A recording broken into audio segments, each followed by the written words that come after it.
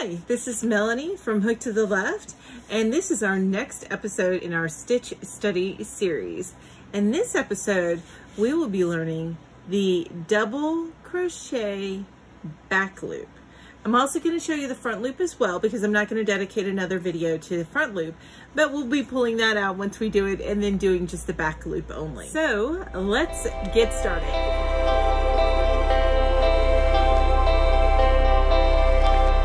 Again in this next stitch study. And today uh, we will be going over the double back loop crochet um, stitch. And this is this is what it looks like. You can see uh, here if there's a it's got a little bit of texture to it. And and a lot of the next few stitches I'm going to do will be very textured. So it's got a little bit of texture to it. And um, it's a very easy stitch to learn. If you've got the double crochet, you're gonna get this no problem. Um, so my favorite thing to use this for is hats. Yes, little beanies, love it. I'm gonna insert a picture up here of one that I made for my daughter. It's not on her head, it's on a mummy's head, or not a mummy. I don't have mummies in my house, I promise. No vampires either. Um, but it's on like a, a, a little, um, uh, a fake head. Anyway, and so you'll see that picture up here. And then um, over here somewhere, I'm going to put a picture of me with the one that I made for my head.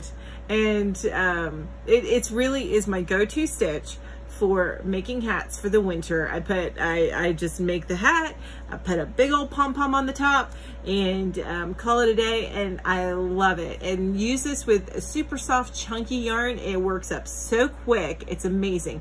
And I learned that um, pattern from a I say probably about two or three years ago from, I found it from Make Do Crew. And um, if I can, I'm going to try and link them up here somewhere. Um, if I can't get the link up here, um, I'm kind of limited because I, I, I, don't have a, a monetized channel uh, as to what I can link. So, but if I can't, I'm going to link them up here. Regardless, I'm going to send a link down below to their video tutorial to this hat. It's called the one and a half hour beanie. You can find it on Pinterest. It is a great pattern. It is super duper easy and um, and really easy to scale up, scale down, whatever you need to do to make that hat for you um, or whomever you're making it for. Anyway, let's get back to this tutorial. So you want to continue with the same yarn weight um, that you have been using. I'm using worsted weight. Um, my yarn of choice is the Mainstays yarn from Walmart. Um, it's it's really it's basically like a, uh, your Red Heart um, Super Saver. I think it's a little bit softer than Super Saver to be honest with you, but that's what you're going to use. You also need some darning needles. These will help you thread in your ends once you snip them off. Then you will also need a pair of scissors and a measuring tape. Now this measuring tape, what we're gonna, what you would you want to use it for is to measure out, make sure that you make a square. Okay, so you want to measure this way and this way just to make sure that you um, make a square because eventually I'd like to take some of these squares and put them all together into a blanket. Some of them won't make the blanket, some of them will. Um, as I'm going through this and, and doing this with you, I'm finding that some of my some of my squares end up a little bit bigger, some of them end up a little bit smaller. Uh, I will probably have a blocking lesson when I do decide to go ahead and um, get this down and put it in a blanket. But for now, I don't have enough squares for that. Um, but we will get there eventually and I will show you how to put them all together. That'll be part of this stitch study series. So let's, oh, you know what? The most important thing that I did not even put in here that we need, your hook. So you want a five and a half millimeter hook. This is a Clover Armour hook. It is my favorite hooks. It's an ergonomic hook and I have that link down below if you would like to find out more about it and get one of your own. Again, this is my favorite hook. And these are my favorite needles. Those are also linked down below if you would like to get some of your own. So let's get started with the tutorial. All right, so I'm gonna assume in this tutorial that you do know how to do a slip knot and a chain stitch. If you need slower, um, slower teaching for that because you haven't done it yet, then go back to my very first video in this series. It's with for the single crochet. I'll have it linked up here above. but um, go back to that and it'll it'll show you uh, the slip stitch or I call it slip stitch it's actually a slip knot the slip stitch is something different but the slip knot and the chain stitch so let's go ahead and what I'm going to do I'm doing all of my squares 25 stitches across. Um, since I'm going to be doing double crochet I'm going to do uh, 25 plus 2 okay so let's go ahead and chain. One two, three, four, five, two, 23, 24, 25, and one, two.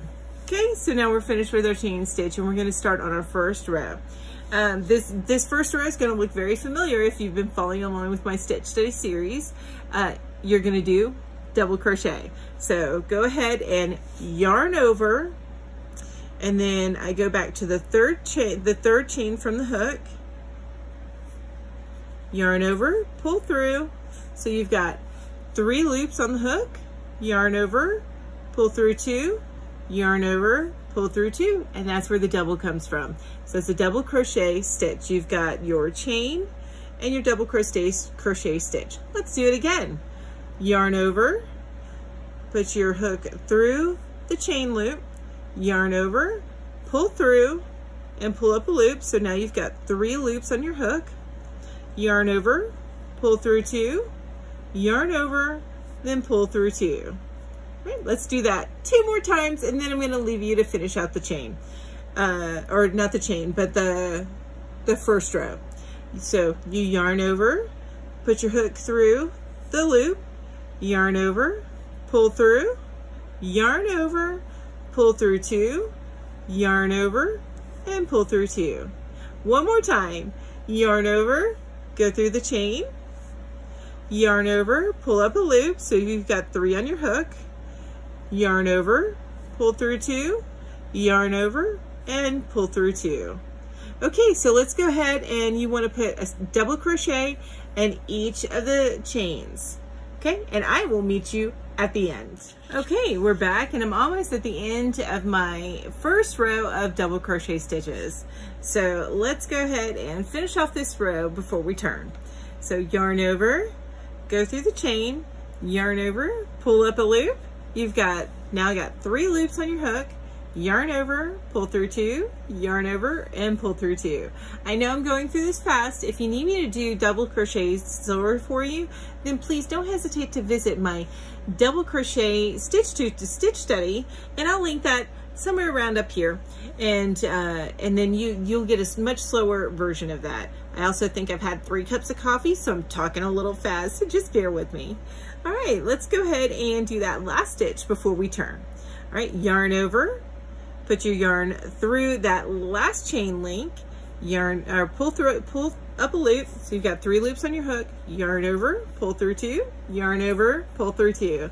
Okay, so now we're done. And I know I say this in every video, but I do want to make sure that if somebody's watching me for the first time, they understand this. This is so important and can be frustrating for new crocheters.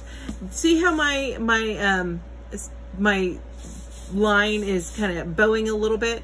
That's because anytime that I stitch a chain stitch, I, um, I tend to, to do it a little bit tighter than I would the stitches here. That's not uncommon. It is very, very common. Um, since this is just a slight bow, it's gonna work itself out like it did in these other squares that I created. Um, you don't see where it bows. So um, it will work itself out. If you find that it's also practice makes perfect. So the more that you do this chain, the more likely that you're gonna start evening out your tension. So if you find that, um, if you do find that it's just curling up too much and um, you don't think it's gonna work itself out in the square, then please go ahead and move up this hook by 0.5 millimeters just for the chain. So for example, this is a 5.5 millimeter hook. You want to switch it to a six millimeter hook, do just the chain, and then move back to your 5.5 millimeter hook for the rest of your stitch work. And that will help even out, even that out. Now don't forget, practice makes perfect. So the more often you do that chain, the more likely you're gonna start evening out your tension. Okay, so that just comes from, uh, there's people with many years, many more years of experience than me, and they, they do a perfect chain, and it's the same tension as the rest of it. There are other things that you can do um, that I will teach you later on in the series, but, uh, or later on down the road, um, things like the foundation chain stitch, um, which makes this very stretchy, and you have less likely of this bowing. But we'll get to that in a different video. Not yet for now, let's go ahead and learn the front and back loop stitching. Now I'm gonna do a few of the front loop first, and then we're gonna take that out, and then we're gonna focus on back loop. But I wanna show you how to do both in this video, because I probably won't do a video dedicated to front loop only, since they're so similar. All right, so I'm gonna go ahead and chain two, and turn my work. All right, so if you take a look at the anatomy of a stitch, here's your stitch. And, and remember, the chain two counts as a stitch, so we never do anything in this first stitch, at least not for our purposes. Um, so this is your post, that's your post of a stitch, and this is the top of the stitch. Okay, when you're looking at a stitch, this is your front loop that's facing towards you, that's closest to you, and this is your back loop. That's the one furthest away from you okay? So what does that mean? Now, I don't know if you've been with me for my other tutorials, but every time I talk about going into a stitch to start your stitch work on your second row, I always say go through both loops on the stitch. So you go under both. But when you're dealing with front or back loop work, instead, you're gonna go just under one. So here's a front loop. So you see you've got you're here, you've got your loop that, that was already on as you carry along your stitches. This is the loop you just went under.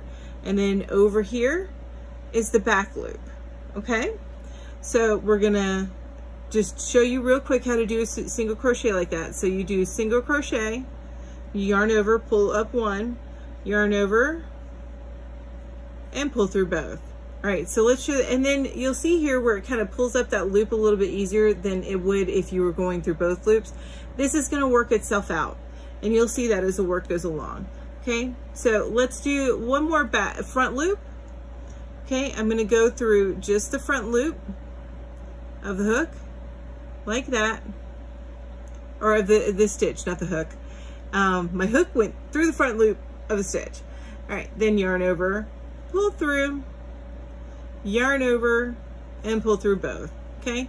So I'm gonna do that one more time because I got my terminology a little mixed up. So you wanna send your hook through that front loop right there. You see there's the back loop. You see how it's splitting that V.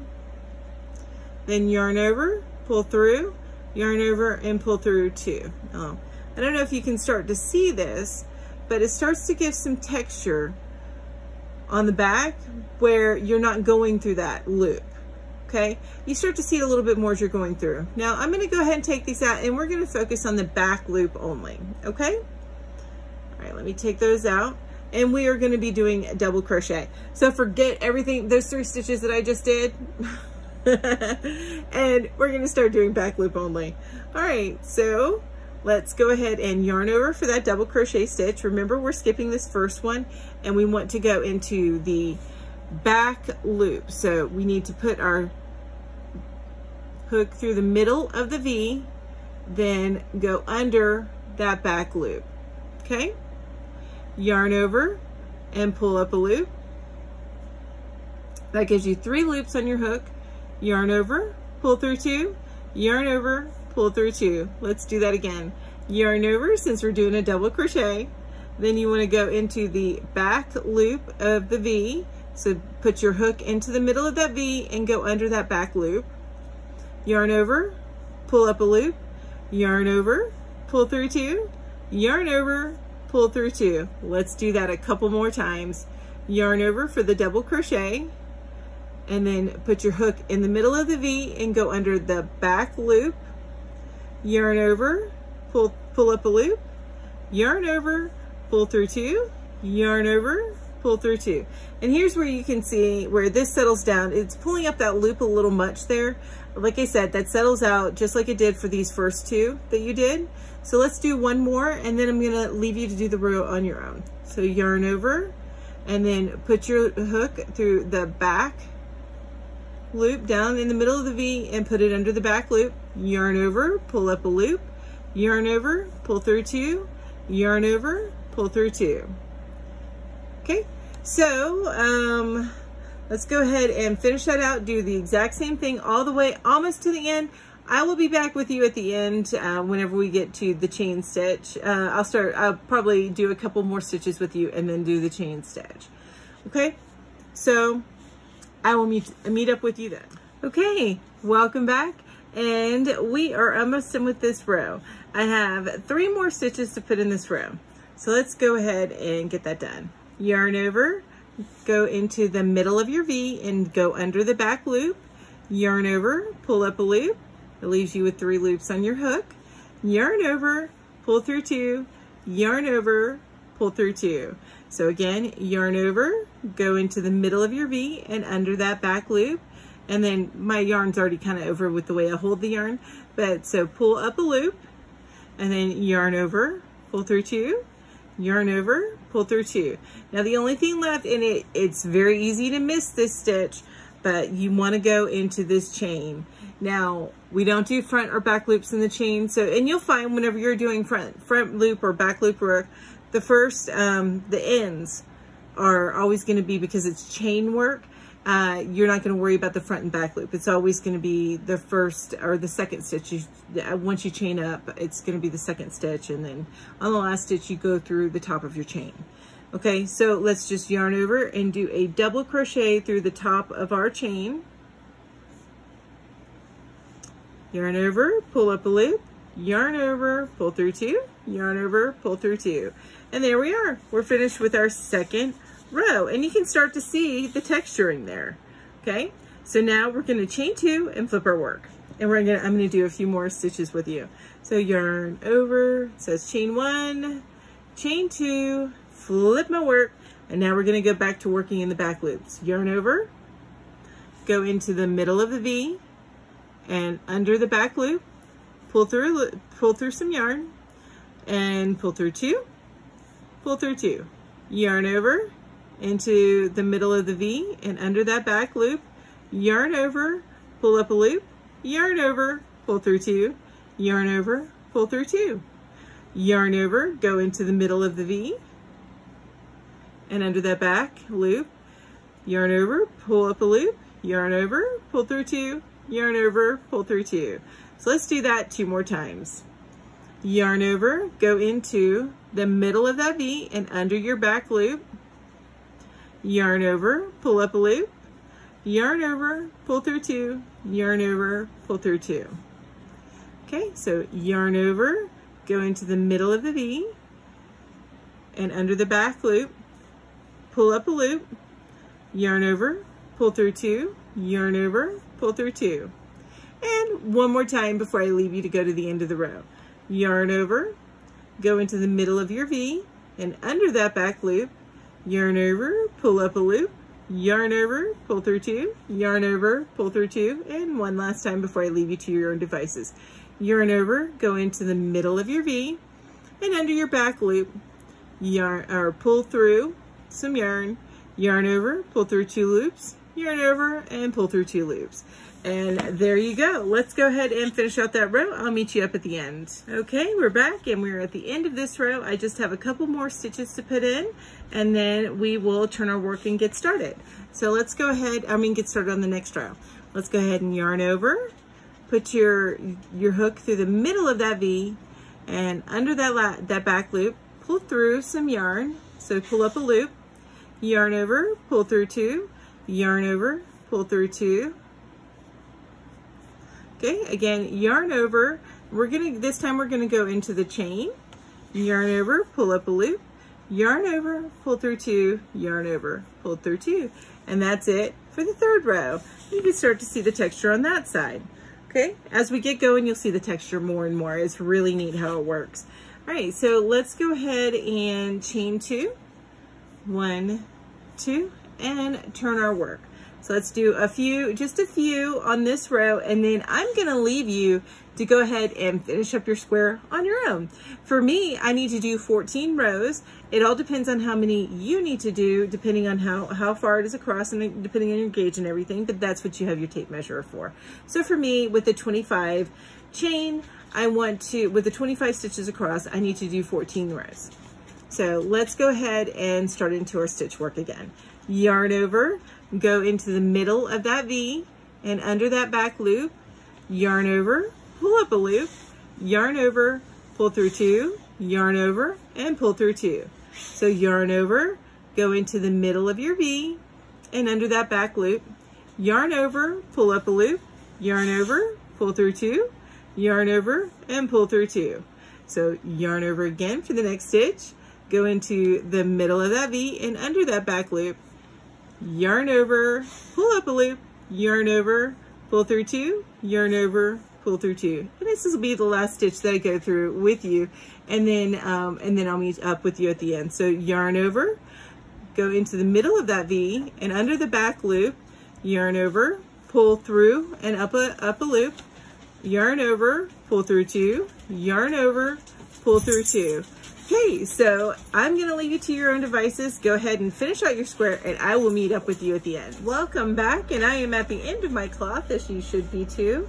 And I just have a couple more stitches to do and then we're going to fasten off. So yarn over and go into the middle of your V under the back loop, yarn over, pull up a loop, yarn over, pull through two, yarn over, pull through two, yarn over, go into the top of the chain, yarn over, pull up a loop, yarn over, pull through two, yarn over, pull through two.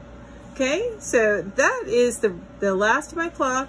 And let me go ahead and fasten this off. And weave in my ends.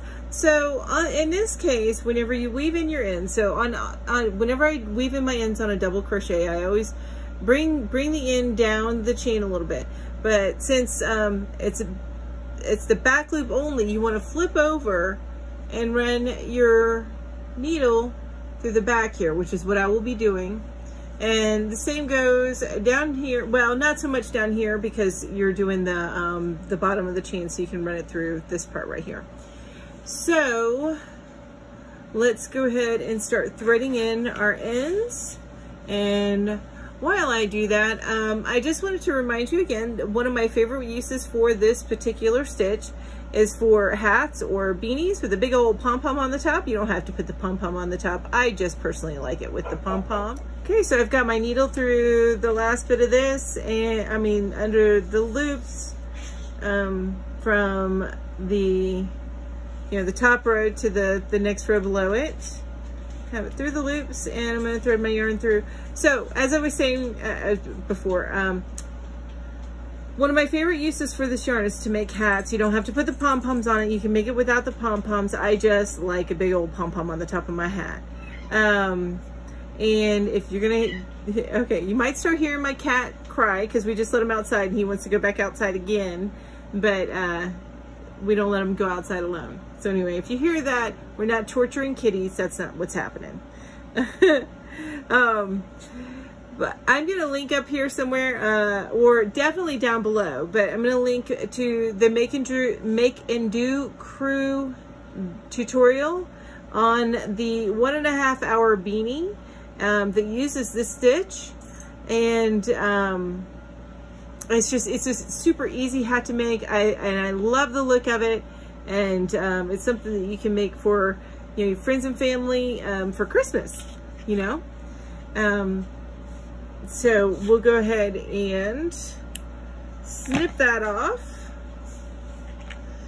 And if you find that these stitch uh, these stitch study videos are value added then do me a favor and uh, like this video and subscribe down below that will let you know every time that I post a new video um, also at the end of this video, you'll see a link to the, uh, I have a list made of all the Stitch study uh, videos. So you can go through them um, and, and see all of them that are available to you at this time. Uh, go ahead and save that to your list if you like.